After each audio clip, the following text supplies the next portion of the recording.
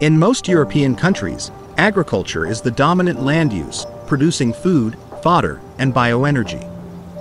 However, due to multiple demands on our landscapes and increasing climate extremes, the land also suffers from soil erosion, biodiversity and nutrient loss as well as the pollution of rivers. These issues are further worsened by the increasing frequency of droughts and heavy rainfall events. Luckily, there is inventive help on the horizon. Introducing Natural, Small Water Retention Measures or NSWRMs. These measures increase the water storage potential of a landscape using natural means and support a better adaptation to extreme events that worsen the conflicts between different water users and environmental demands. There are some issues left, though. For example, which measures to choose and how to properly implement them.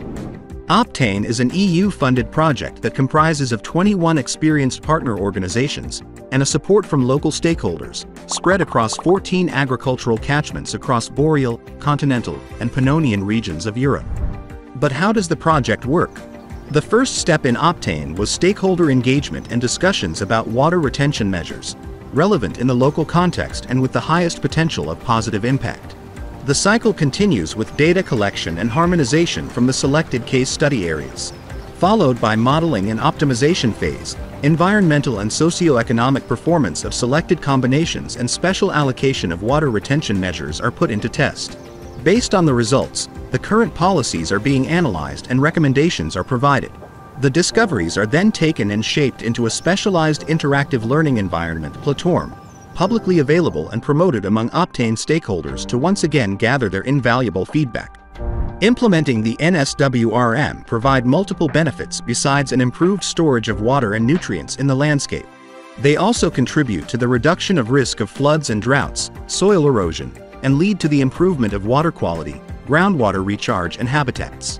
Their applications support the preservation or restoration of our ecosystems and can contribute both to climate change adaptation and mitigation. As a result, the farmers will be able to adapt their management and to improve the sustainability of their agricultural system, which will help stabilize yields and income. Agricultural and water consultants will be able to advise their clients based on an increased understanding of the relationships between agricultural systems, different landscape characteristics and specific water retention measures. This also supports expert personnel and policymakers in their decision-making processes, including the design of targeted and effective incentive systems. Finally, the scientific audience and professional experts will benefit through the methods, tools, data, and publications that OPTAIN will provide with open access for all.